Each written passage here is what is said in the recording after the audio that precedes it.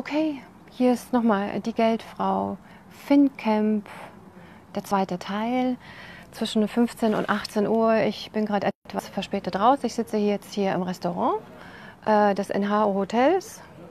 Okay, und ich wollte euch erzählen, was denn im zweiten Teil des FinCamps alles erzählt wurde, wer erzählt hat und äh, was es so an ähm, wichtigen Punkten und interessanten Einblicken es gegeben hat. Also, FinCamp, eine exklusive Finanzvisier-Veranstaltung, ging nach der ähm, Pause, Kaffeepause, weiter mit Dividendenstrategien. Auf dem Podium saßen Alex Fischer von Dividendenalarm.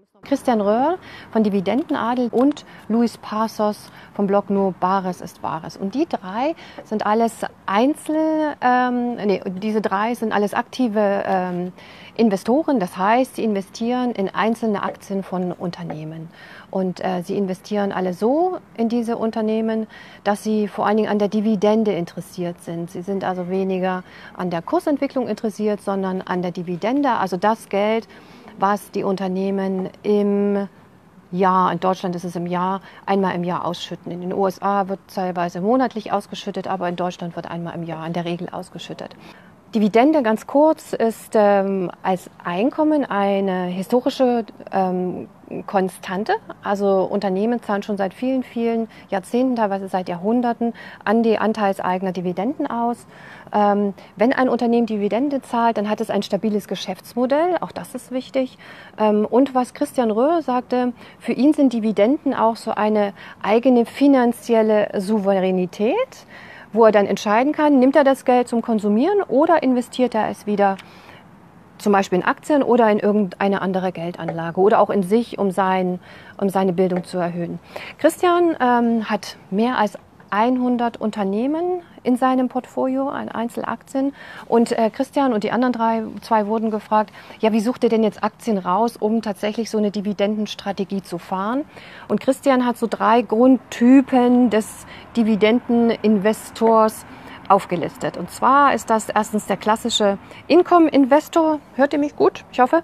Der klassische Income-Investor, der eigentlich an einer hohen Ausschüttung interessiert ist, ähm, also an hohen Dividenden interessiert ist, der sich mit dem Kurs der Aktie nicht so beschäftigt. Das, der, der zweite Grund kann sein, warum man in Dividenden investiert, weil man ähm, an einem Dividendenwachstum interessiert ist, also nicht insgesamt die absolute Höhe interessiert da, sondern dass sich die Dividende Jahr für Jahr immer zulegt, nach, nach und nach. Und es gibt noch eine dritte Strategie, das ist eine Aristokratenstrategie, kommt vor allen Dingen aus den USA. Ähm, dort ist es so, dass ähm, dass das Aktien sind, die seit 25 Jahren, das ist so ein, so ein Punkt, die seit 25 Jahren Jahr für Jahr ihre Dividende steigern. Das heißt, diese Unternehmen sind wirklich ganz nah am Markt dran, die haben hohe Umsätze, die generieren hohe Gewinne. Ich mache mal ein bisschen heller, irgendwie war ich gerade ein bisschen dunkel. Ähm, also das sind so drei verschiedene äh, Möglichkeiten, um in Aktien als Dividendeninvestor zu investieren, finde ich ganz interessant. Also einmal nur Dividende haben wollen, einmal, dass die Dividende nach und nach tatsächlich wächst und die dritten sind, da muss man wirklich schon einen längeren Trackrekord haben, über mindestens 25 Jahre, dass die Jahr für Jahr steigen, dann investiert man darauf. Das ist Christians Strategie. Bei Alex ist es anders. Alex achtet darauf, dass ähm, die Historie des Unternehmens stimmt dass es das Unternehmen schon lange gibt, viele, viele Jahrzehnte, ähm, dass es immer am Markt war und auch Krisen ähm, ausgesessen hat und gut mit Krisen umgehen konnte. Auch er achtet auf die Größe des Unternehmens, also zum Beispiel die Großen am Markt, wie BASF oder eine Siemens. Sein kleinstes Unternehmen, was er als Einzelaktie hält, ist die Aktie von Sixt. Hat er aber gesagt, da hat er schon 300 Prozent Rendite, seitdem er die Aktie hält. Also das sind so seine Sachen, worauf er guckt, also Historie und Größe. Und der Louis, der Louis macht, ähm, investiert in ganz spezielle äh, Aktien von Unternehmen. Er investiert hauptsächlich in den USA in Hochdividendenwerte. Die gibt es in Deutschland in der Art und Weise nicht.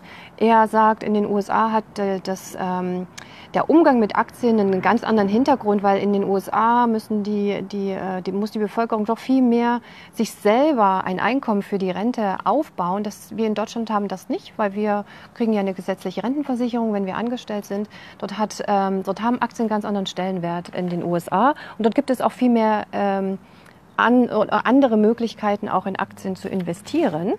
Ähm, und Louis investiert sehr viel in REITs. Das sind Immobilienbeteiligungsgesellschaften. Zum Beispiel in den USA investiert er da, in Kanada oder in Australien und er kann dort relativ hohe Dividenden ähm, generieren, manchmal 10 Prozent, manchmal 20 Prozent. Das ist aber ein Gebiet, was wirklich sehr speziell ist. Alle drei fühlen sich immer wie Mitunternehmer und das ist auch äh, ein großer Reiz, ähm, der es für sie ausmacht, überhaupt auch in Aktien mitzuinvestieren. Sie sind natürlich an der Dividende vor allen Dingen interessiert, aber sie fühlen sich wie, wie Unternehmer. Und ähm, sie sagen auch, was absolut richtig ist. Also solange Unternehmen Produkte verkaufen und Dividenden zahlen, solange bricht die Welt auch nicht zusammen man kann das auch umgedreht sehen. Also es ist ein positiver Blick auf die Wirtschaft und auch auf Unternehmen. Bei den Branchen sagt man nur, na ja, gut, also wenn ich jetzt mir, mir eine Dividendenstrategie zulege, welche, in welche Branchen investiere ich denn dann? Da sind sich alle drei ziemlich einig, dass es keine Branche gibt, die besser oder schlechtere Leistungen hat als eine andere. Also ob es Konsum ist, ob es äh, Autokonzerne sind oder Pharma oder Energie. In allen Branchen gibt es mal Aufphasen, es gibt Abphasen, ähm, mal werden Gesetze verändert. Das ist also, man kann keine, keine Branche benennen, die vorne dran ist und immer gute Dividenden abwirft. Also dann besser ein Branchenmix in alles Mögliche, investieren von den Branchen her und dann ähm, ist man eigentlich gut aufgestellt. Wie viel Zeit investieren Sie rein, äh, um überhaupt in Dividendenaktien äh, zu investieren? Das kommt drauf an. Vor allen Dingen investiert man Zeit, äh, wenn man sich mit dem Unternehmen beschäftigt. Alex sagt auch, er liest Zeitung, natürlich. Er beschäftigt sich mit den Nachrichten, damit er weiß, was mit seinem Unternehmen oder mit seinem Unternehmen los ist, damit er auch reagieren kann. Und sie gucken sich alle an, warum investiere ich denn in dieses Unternehmen und sind sich dessen auch immer sehr bewusst, warum sie in das in, in Unternehmen investieren.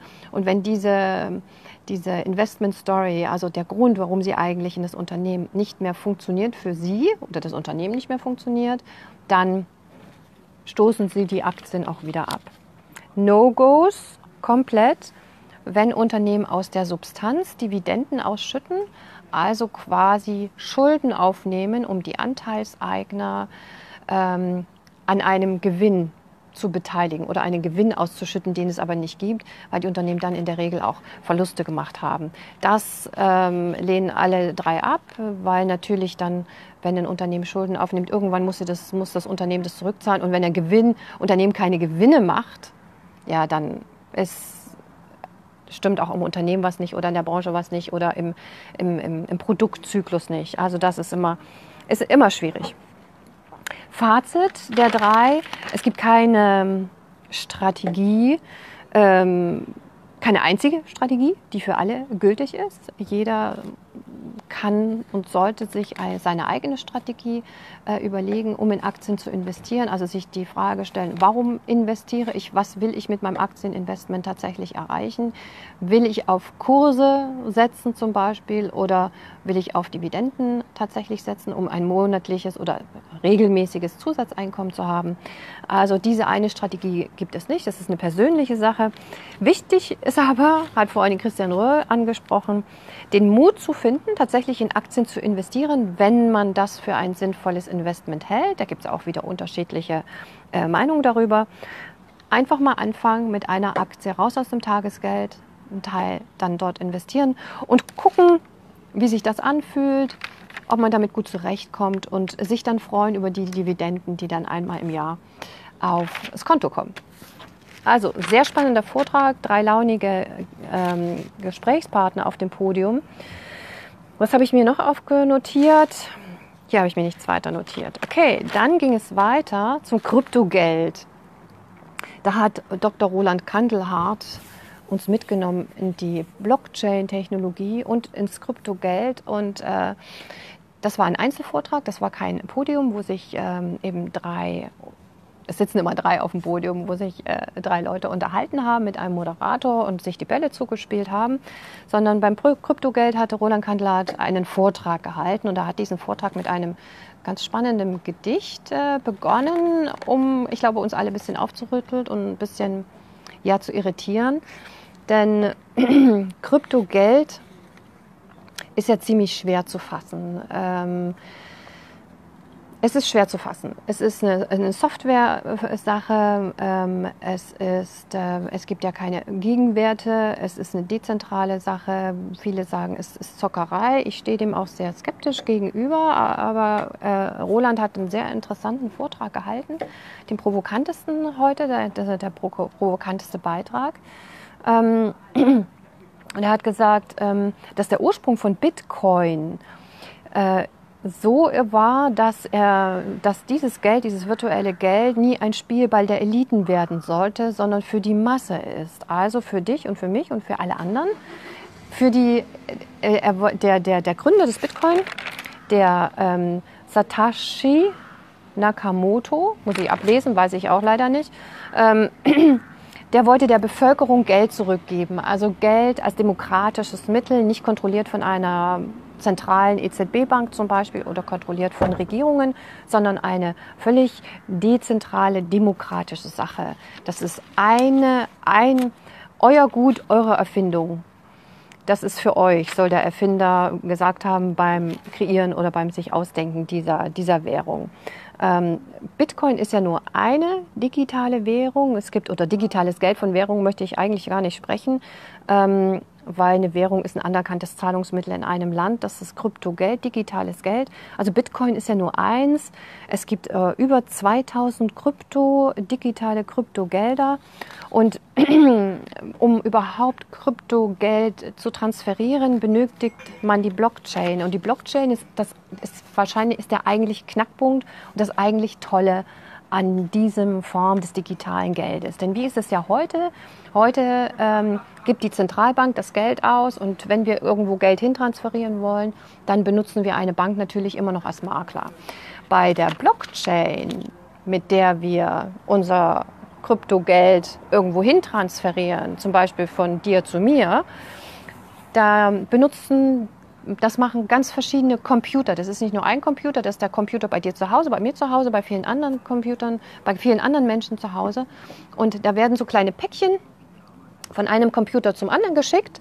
Zum Beispiel, ich möchte dir was transferieren, dann geht das von meinem Computer zu dem Computer meines Bekannten, dann zu einem anderen Computer und noch einem Computer und dann ist es bei dir. Das heißt, und immer in den, in den, in den in Päckchen, die da verschickt werden, werden immer bestimmte Daten mit, mit, mit gesendet.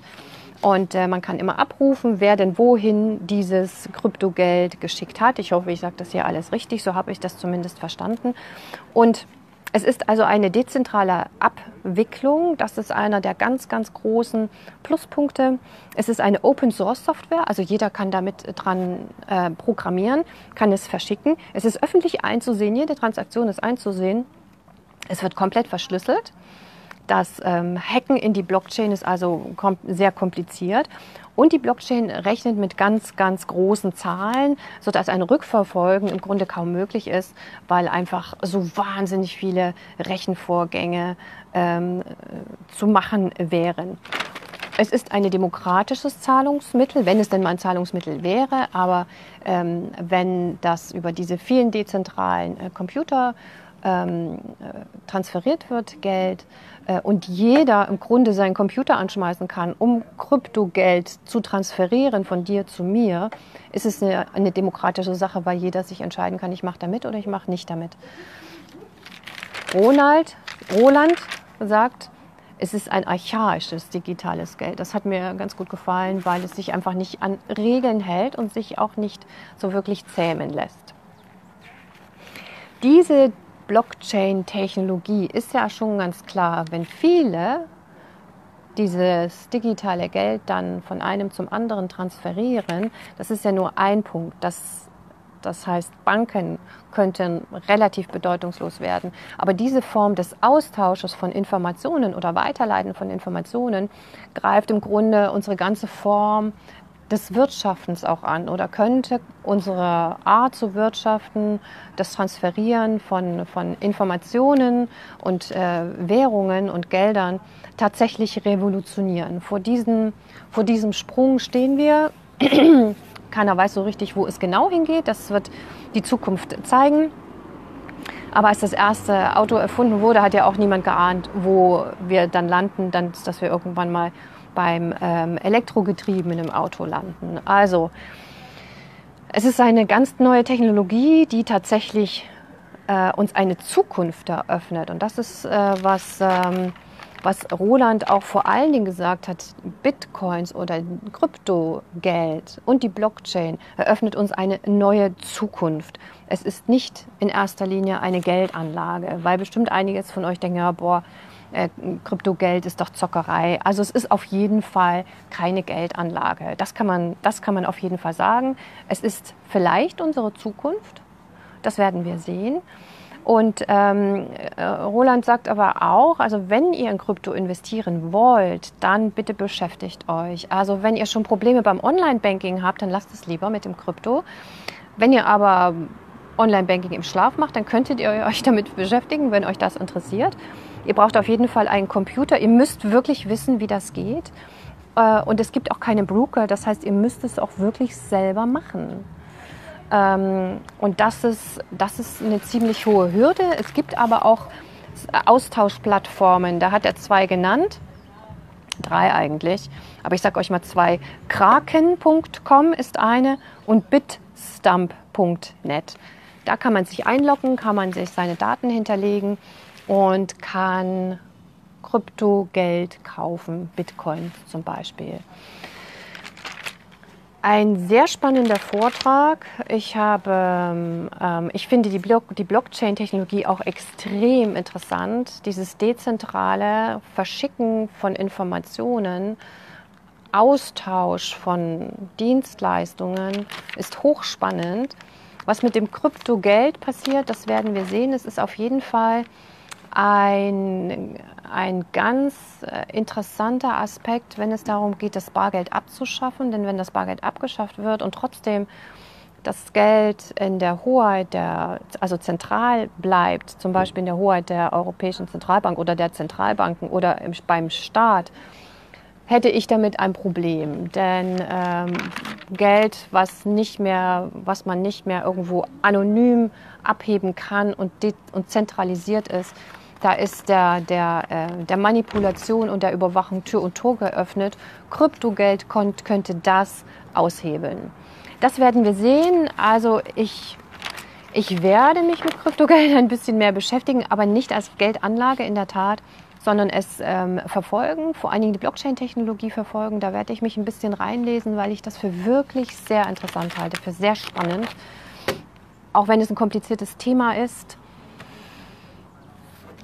äh, lest, lest auch was dazu. Ich halte das wirklich für super spannend. Also, das war's. Ganz kurz, ich bin ehrlich gesagt ziemlich geschafft nach einem ganzen Tag. Ähm, von halb neun bin ich unterwegs gewesen bis jetzt um halb sieben. Hat viel Spaß gemacht. Es wird wahrscheinlich ein FinCamp 2000. Na, wahrscheinlich nicht. Aber es wird, es, es, es könnte ein FinCamp 2019 geben, sagen wir es so. Äh, aus dem Publikum kam äh, eine Frage, ob Albert und äh, Henrik das vielleicht nächstes Jahr nochmal machen wollen. Wir werden sehen. Ich wäre auf jeden Fall gern dabei. Es hat sehr viel Spaß gemacht. Die Teilnehmer waren alle sehr offen. Wir haben viel nebenbei über Geld geredet. Ganz spezielle Fragen sind gekommen. Es hat viel Spaß gemacht.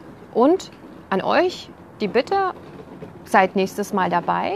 Solche, solche Konferenzen machen viel Spaß. Ihr trefft hier Gleichgesinnte. Ich habe mit einigen Frauen gesprochen, die, ähm, die sich jetzt mehr mit Geld beschäftigen wollen, einige, die auch schon investiert waren. Und ähm, es war ein schöner Austausch.